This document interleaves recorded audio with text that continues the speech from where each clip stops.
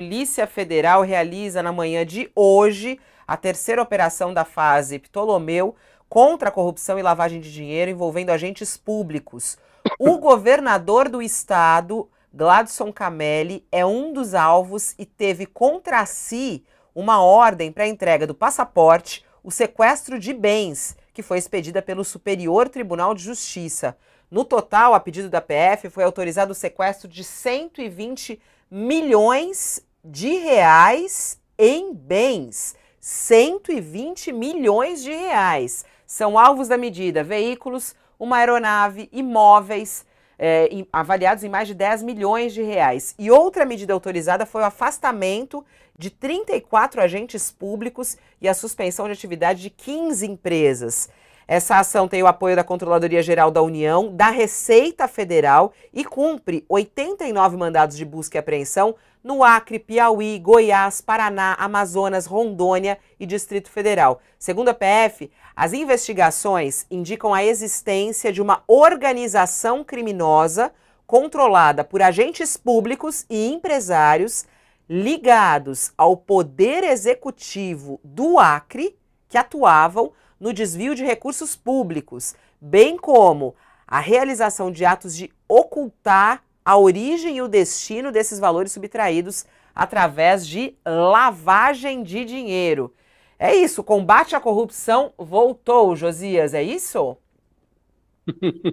É muito triste o que a gente assiste cotidianamente, né, Fabiola? Então, é... até o passaporte do governador, o Gladson Cameli, que é de uma tradicional família do Acre, a família Cameli, é, ocupa o poder no Acre há muito tempo. É, agora, o, o, STJ autoriza até a apreensão do, do passaporte do governador.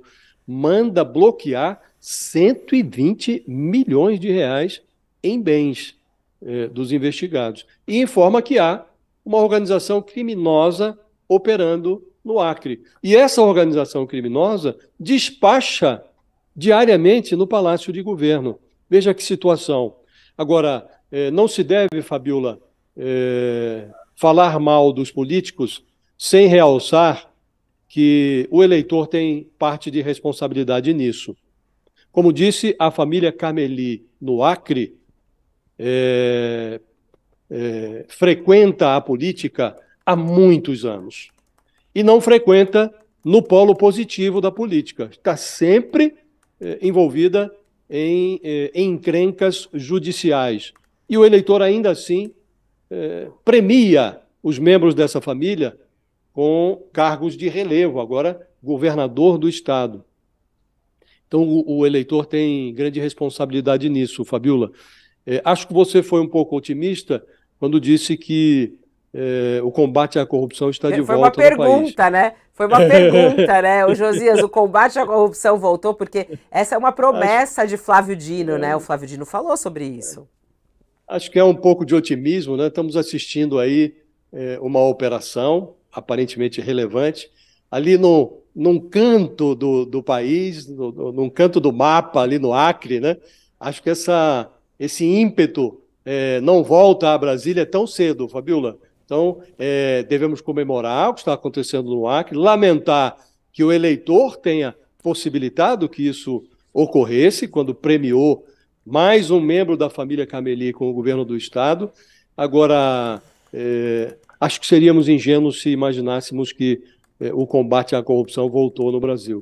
Ainda outro dia estava o presidente Lula é, cacifando o ministro das Comunicações, o ministro dos Cavalos, com, envolvido ali em tantas transgressões e o presidente o manteve no cargo. Né?